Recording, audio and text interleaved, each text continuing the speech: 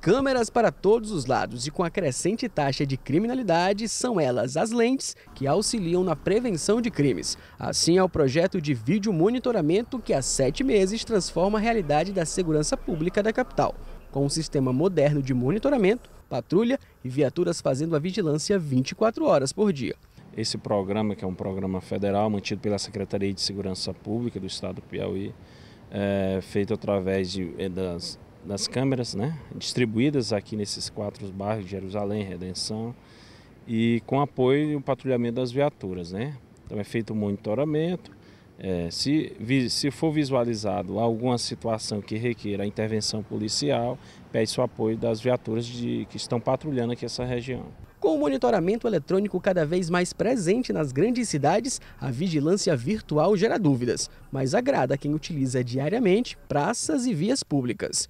Dá uma sensação de segurança maior, embora acredito que não vai ajudar muito, porque todos os dias na nossa capital existe assaltos, existe mortes, existe câmeras em por todos os lugares e até o momento nunca foi feito nada. Dessa forma melhora mais, né?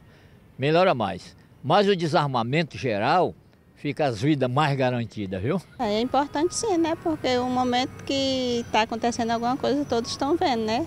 Só não age quem não quiser, só não tem alguma providência que não quiser fazer. Hoje em dia a gente não pode andar mais nas ruas, não pode estar na parada de ônibus, os assaltantes vêm, roubam o celular da gente, bolsa. Vamos sentir mais seguro assim.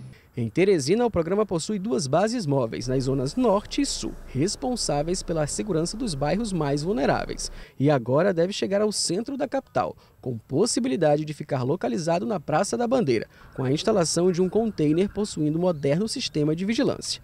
Colocado o ônibus com as câmeras né, e, e, os vídeos para serem monitorados e com o patrulhamento da, da, dos batalhões, né, das viaturas dos batalhões na área. E o objetivo é esse, inclusive essas imagens que são colhidas aí, elas servem até de suporte para operações no combate à droga, realizado tanto pela Polícia Militar como pela Polícia Civil através da Delegacia de Entorpecentes.